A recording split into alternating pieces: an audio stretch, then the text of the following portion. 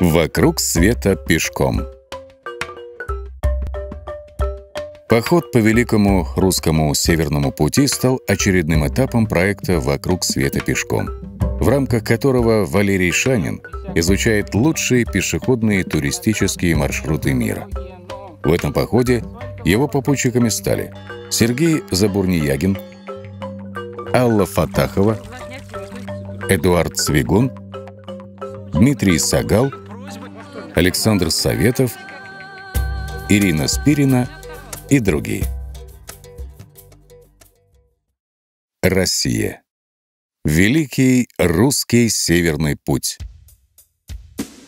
Великий русский Северный путь общей протяженностью около 2000 километров идет от Москвы до Соловецкого монастыря.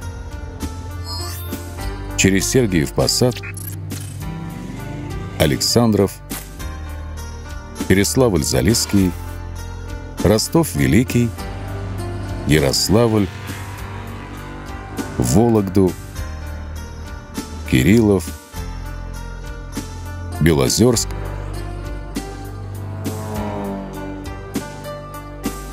Каргополь и Онегу.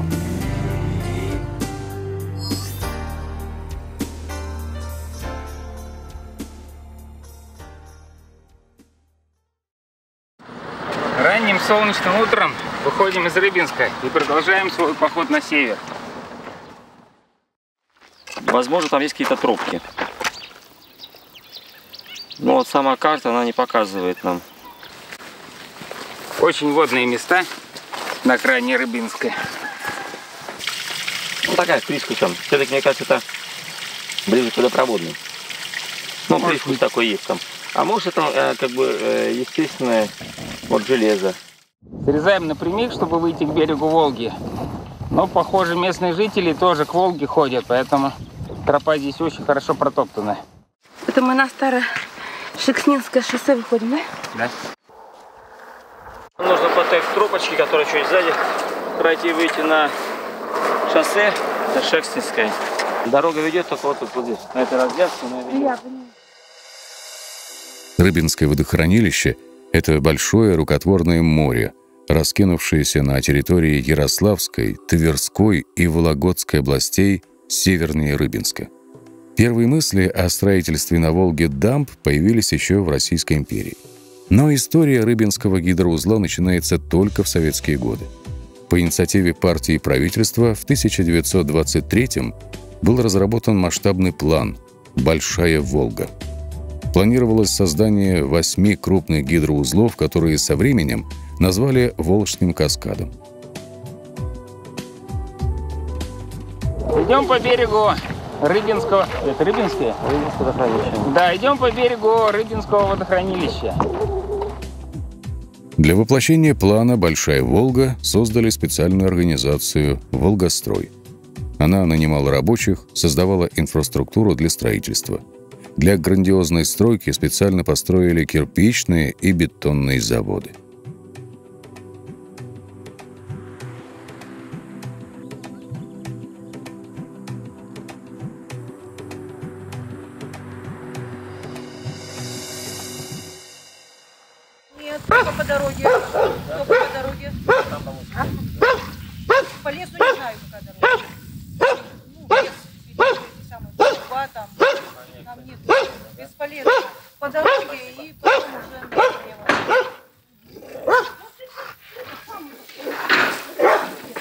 Нет прохода? А говорит, нет, только по дороге. говорит. Ну, у людей нет этой надобности, в принципе, они по кругу пешком ходить. ходят. Поэтому здесь, если надо, они прямо вдоль дороги идут. Ну, соответственно, это предстоит отработать нашим э, администрациям. Другого варианта нет. Турбаза «Волковский ручей».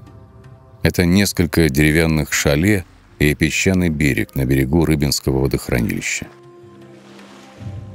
Первый агрегат Рыбинской ГЭС запущен в эксплуатацию 19 ноября 1941 года.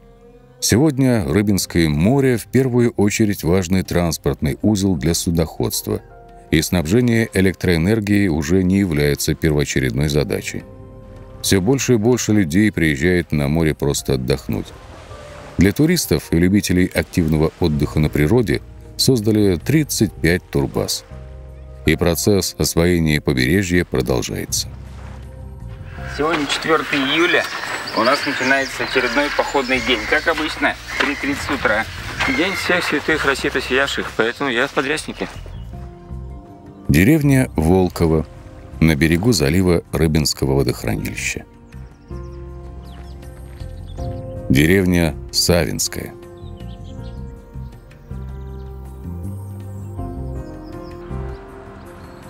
Деревня Дымовская. Непосредственно вдоль берега Рыбинского водохранилища пройти не удалось. Приходится идти прямо по шоссе.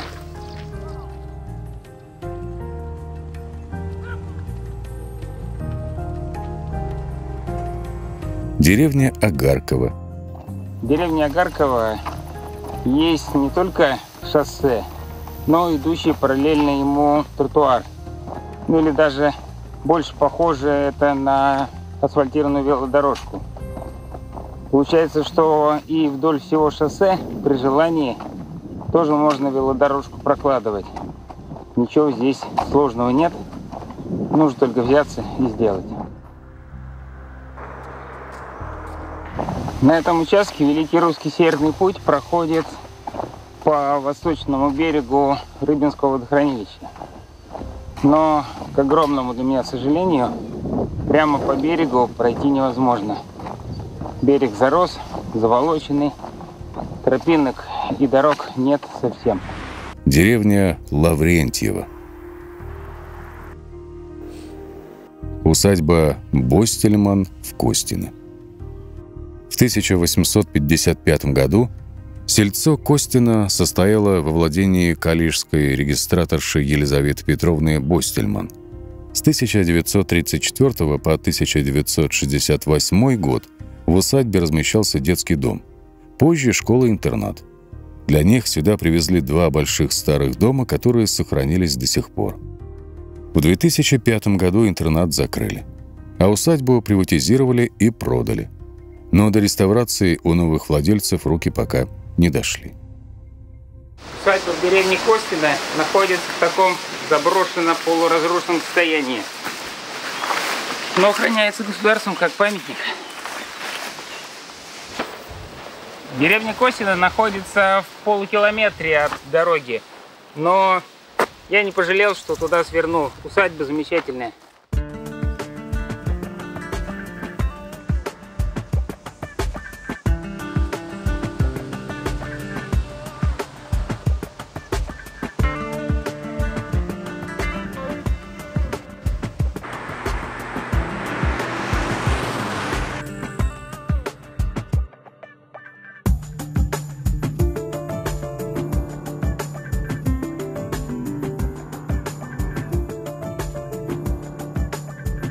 Турбаза Ухра.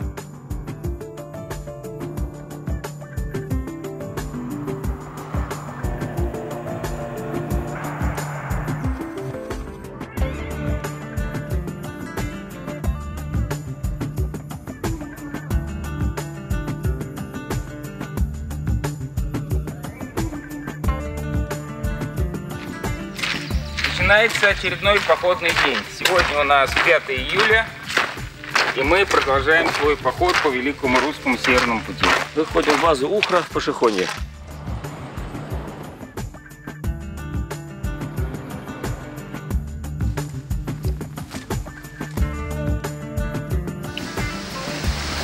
Ты какую-то траву себе привез, да?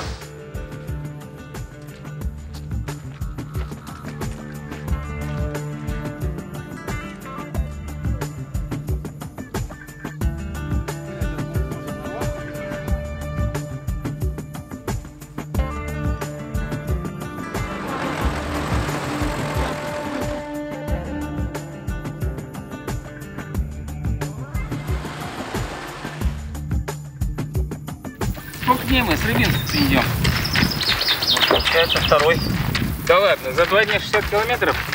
А что у нас 60 километров? Он сегодня на 61 пройдет. Поселок Ясные Поляны. Вот мы здесь начинаем экскурсию нашу. И начинаем с того, почему у нас вот э, э, название такое красивое, Ясная Поляна, поэтическое. Я, например, живу Ясная Поляна, улица Солнечная, ну просто прелесть. А все началось с того, что в конце 30-х годов был вынесен приговор, можно сказать, э, городу Малоги. Вот видите, да? Вот эта карта, это 130 километров в длину, 60 в ширину. Было затоплено более 700 деревень. Город Малога, но вырубались элитные леса, дубравы вырубались. Начали строительство в конце 30-х, с 36 -го года уже э, объявили, народ сначала ничего, сперва ничего не знал, что вот такая им судьба предстоит. Объявили народу, ищите место себе, куда вы поедете, куда со своими домами, с хорошими, правда. А нас заплыли, какую, какие-то денежки давали, какие денежки?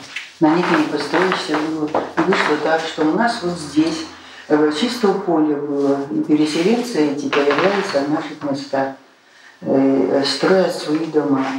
Э, и последняя плотина была перекрыта для накопления воды русского водохранилища, Рыбинского водохранилища 14 апреля 1941 года как знаете, в 1941 году в июне началась война, мужчины позабирали всех на фронт, и женщины вот в таком, в таких условиях остались. Ни домов, ничего. Это представьте, что они испытали в это время. Вот. А, и что получилось? Строим дома, например, в поле вдоль деревни, вот как вдоль речки. И началась война, дома построены, и деревня стоит без названия, можно сказать. И вот 42-го у нас появилась уже четвертая деревенька. Очень интересно получается. А здесь покров клин.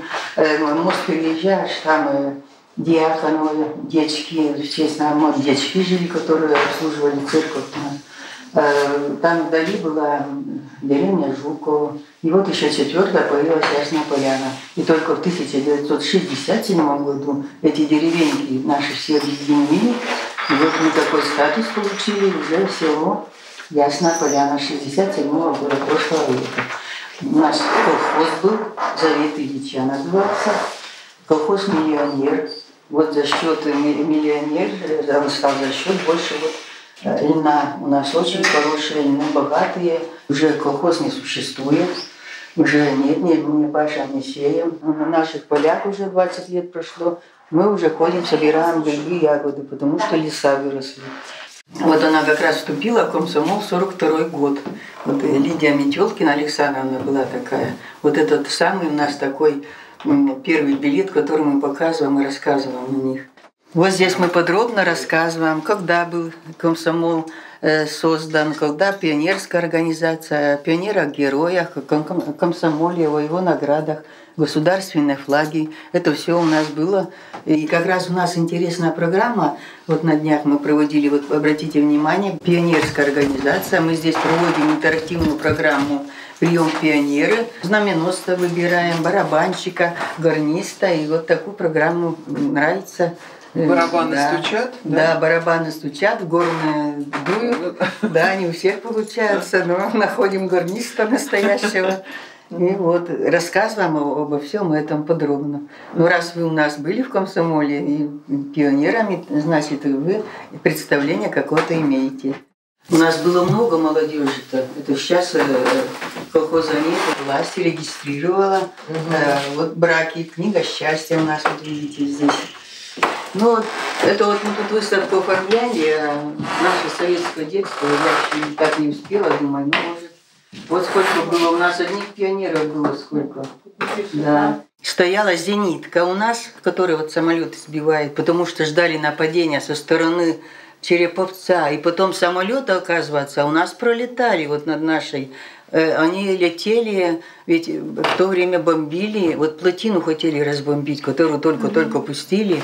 Но самой, самих-то действий военных-то не было. Но у нас много погибло народа, конечно. У нас была партийная организация. И комсомольская была, и профсоюзная.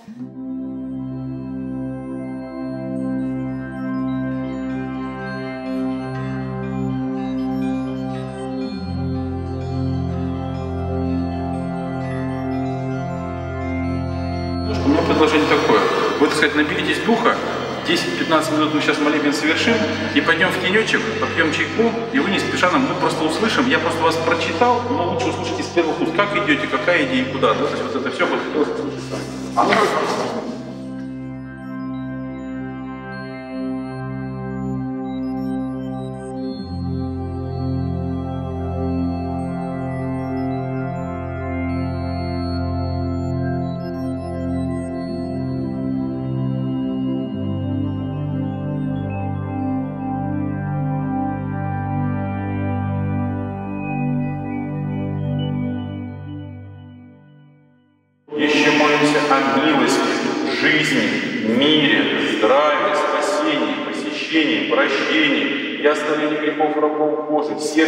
и всех участников благословенного крестного хода. Я езжу ночью с ним лету живота и Господи, помилуй, Господи, помилуй, Господи, помилуй. Мы подумали, мы вас помажем святым маслицем. Маслица у нас очень интересная. А, Однажды мне сделал один батюшка замечание. Почему у вас в храме продается святое масло? Я говорю, ну, люди спрашивают, а ты, говорит, святую воду продаешь, а причастие, а просфоры? Я говорю, ну, вроде бы как-то не заведено. Говорит, а масло разве можно продавать? Это же святыня, ты же, получается, что, благодатью торгуешь? Я задумался, ну а как? И вот до меня, значит, стало воспоминание нахлынуло, да? Мы были по святым местам, были на Афоне, были в Иерусалиме, были на Кипре, да, и как там относятся к вопросу помазания святым маслом, да, берут лампадку, а в лампадке масло горит, не как у нас, да, лампадное называется, да, а самое обыкновенное оливковое. Почему это страны, которые растят оливки, ну, это в хозяйстве, ну, то есть оливковое масло в каждом доме, это нормально, да, может у них подсолнечного, наоборот, нет. И они берут прямо из лампадки, макают и помазывают. И вот мы завели такую традицию, у меня все масла, которые только были из Иерусалима, Сафона, все-все-все, взял, слил одну лампадку. Теперь я бегаю в наш сетевой магазин, покупаю обычное оливковое масло, добавляю его туда, но я все равно говорю, что это святые масла со всего мира. Я помазываю, как вот где там научились правильно, как это делать, из этого. Если кто-то просит с собой, я беру шприц, пузыречек раз налили, да, и кому надо святого масла, пожалуйста, дадим, да, то есть вот очень интересно, в этом плане традиция согласна. Поэтому я помазываю лампадочка от святынь всего мира, и кто мне что привозит, значит, святое масло. Я говорю, спасибо, буль-буль-буль в эту лампадочку. Все, вот у нас такая традиция. Батюшка, лампадку, прикладывайтесь к Христу, батюшка помажет святым маслом, а я кроплю водичкой. И пойдем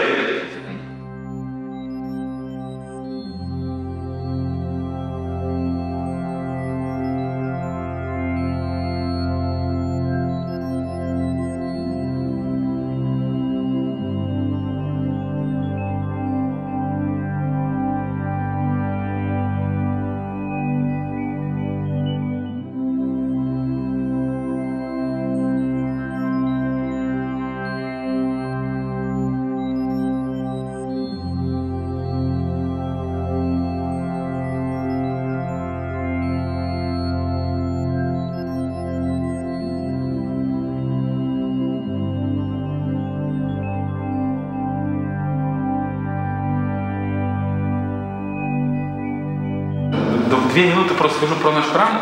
У нас храм ничем не отличается от тысяч других похожих храмов. История примерно похожая. В следующем году храму 200 лет, то есть он не такой старый, 1822 год. Да? У нас знаменательного из последнего. В том году было освящение храма.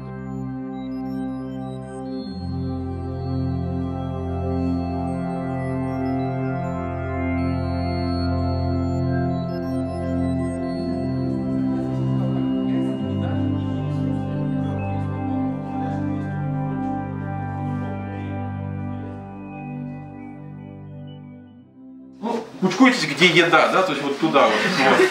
Да, да, да, да, да. Главное путешествие. Не, мы просто не знали, сколько будет человеков, да, поэтому так вот все.